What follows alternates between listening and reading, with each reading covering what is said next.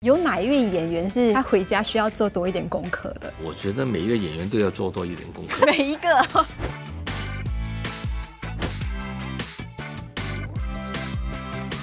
双双，大家好，我是廖月即将开拍的重头剧《金色大道》呢，请到了 TVB 的三届影帝李耀祥来到了新加坡为主要演员上课，让我们一起去一探究竟。情理之中，意料之外。我喜欢你，动作你的你的戏出出来。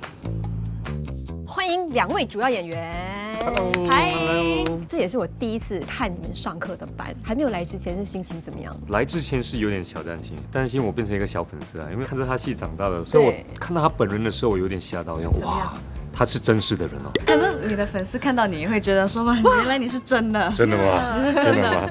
我想说你比电视机帅。我很喜欢上课的，也很羡慕，就是好像我妈妈那个年代啊，他们都有演员训练班，才华你们也有上课。对。可是我没有什么机会上这些课。我从来没有上过课，这一次有机会，我觉得我是一个婴儿，你懂吗？嗯。吸收全部的 info 一次过。对我来讲，就是像上课。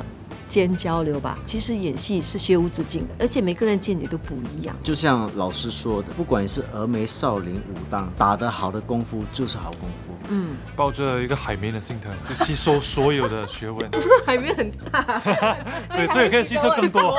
我觉得演员就是一直可以不断增强你的演绎方式。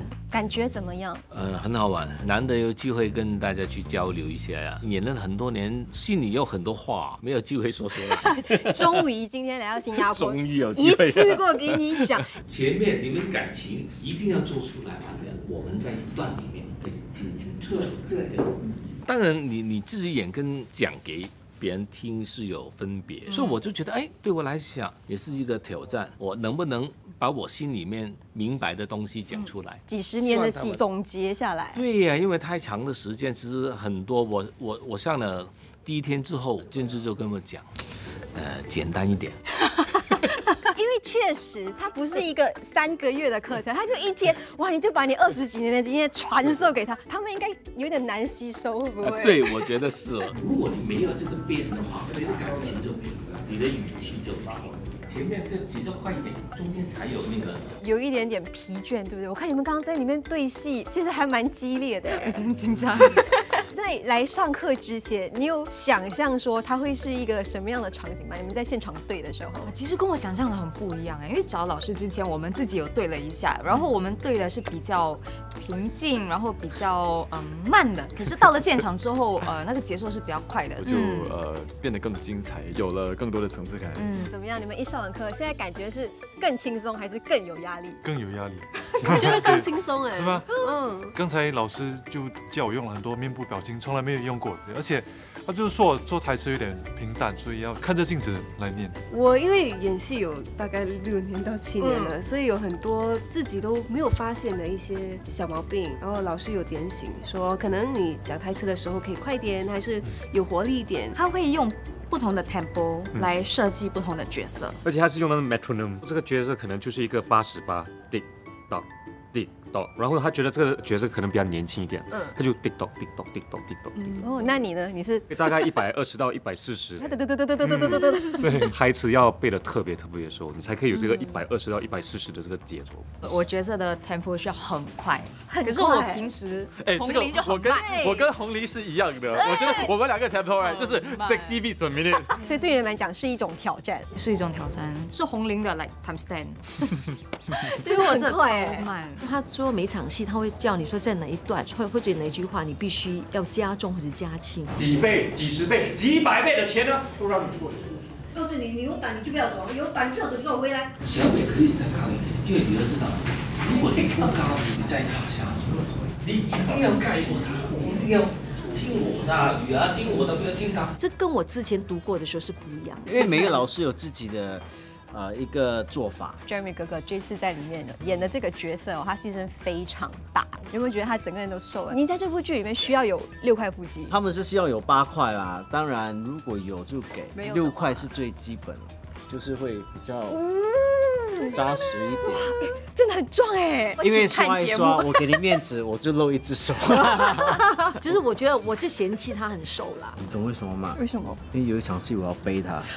他怕我背不背不了他，他说：“哎，你很瘦，你背得背得起吗？”我讲：“Come on，玲玲姐你很轻好不好？”然后我们背一次给新来大哥看。一拿到剧本，我应该要怎么样子去准备 for 这个角色？我觉得其实最重要的准备是我们平常生活，我们有朋友、有家庭、有什么什么，其实你多留意你跟啊其他人的关系啊。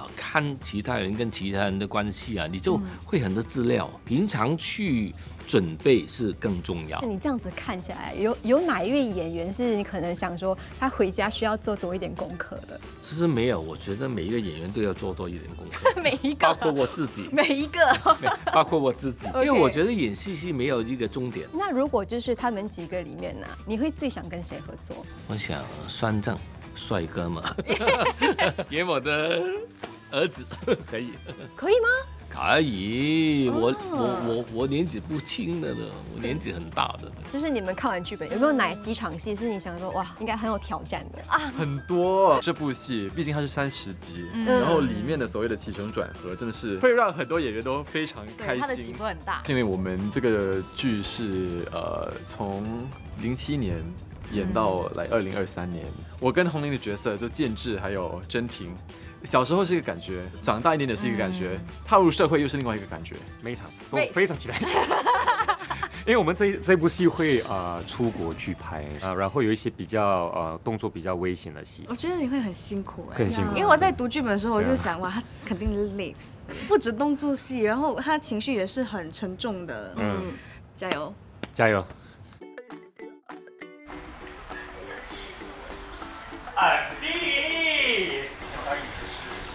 先请两位简单介绍一下你们的角色，好吧？由女儿开始，我戏里叫真玉，然后我是一个有视力障碍的女生啦，所以我年轻的时候是看得比较清楚的，还看得到大概二十到三十八线，然后再慢逐渐退化的。那玲玲姐呢？就演她妈，我叫潘小美，那我就看了后面这间。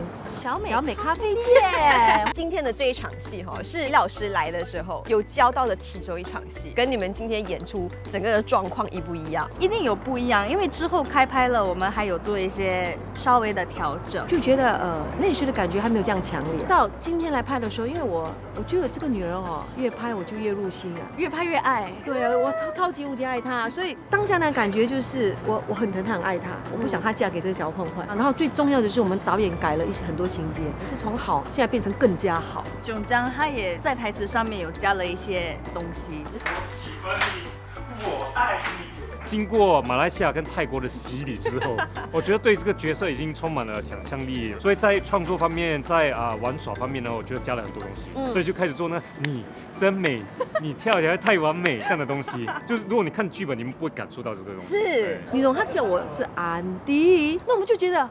很好，很小混混啊，就很烦呐，然后很喜欢你呀，那你又来，我好喜欢呐。所以你觉得老师教的跟你现在排的整个的感觉是不一样的，对吗？其实我在呃前几天在重新看这个台词的时候，我觉得我会想到李老师跟我讲的一些东西，嗯，所以在设计方面跟调整方面都会呃注意到，在拍的时候都会想到李老师跟我讲的一些话。所以你在告白的时候，李老师一直出现。李老师可以啊，很不错啊，哎。他教你有一些东西，有一些动作，然后有一些。些地方我觉得他教的很好，而且这是我平时我没有想到的，就是那个瞎眼的人要怎么看，我们可以知道一下吗？应该要怎么看？做这个呢，我其实真的有去 do house visit，跟一个差不多也看得到二十到三十八线的人沟通，其实他是看得到你的轮廓的，他们可能会这样子看着，你以为他在看你，可是如果你仔细看的话呢，他是看透的，是因为他找不到一个焦点。好，那最后就是问你们一下，你们觉得为什么大家一定要看这部剧？这部戏呢，我第一次跟我们。的故事人荣迪合作，荣迪大哥，嗯，从小呢就有看他很多经典作品，最喜欢的就是《小娘惹》，难得有荣迪大哥出来写这个故事，我相信大家都会蛮蛮喜欢的。对我来讲是很不一样的，因为我会看到三个男人的戏，然后我觉得这三个人的的兄弟情谊，一个很有人情味，跟一个很有人性的一部戏，所以真的是非常值得看，请记得锁定金色大道。喜欢我们的视频，记得 like and subscribe 我们的频道，开启小铃铛通知，视频不漏看哦，拜拜。